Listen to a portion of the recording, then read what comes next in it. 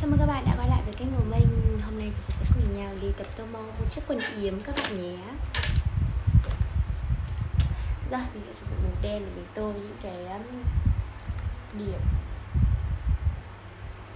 Như cổ áo này, cúc áo này.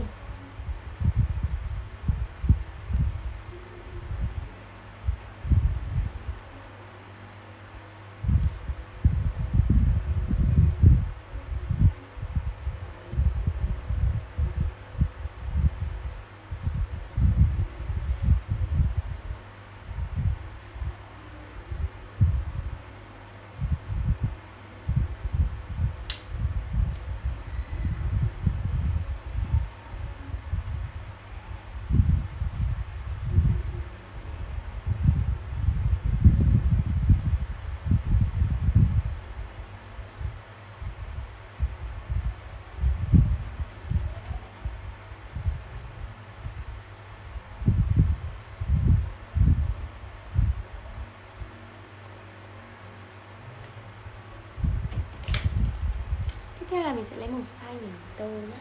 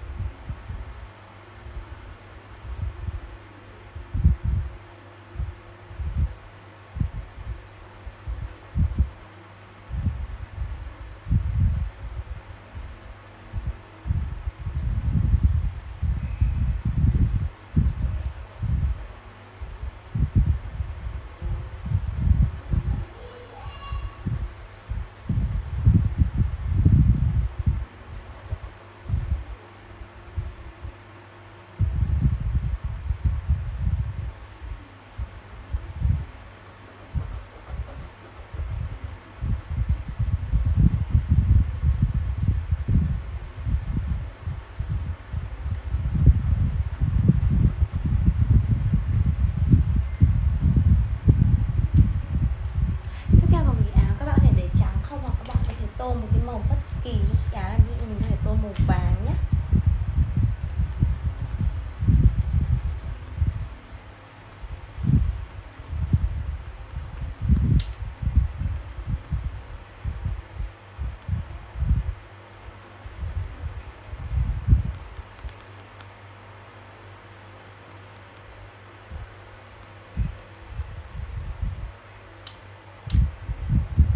Vậy là mình đã hoàn thiện xong bức tranh, tô màu một chiếc quần yếm rồi các bạn nhé.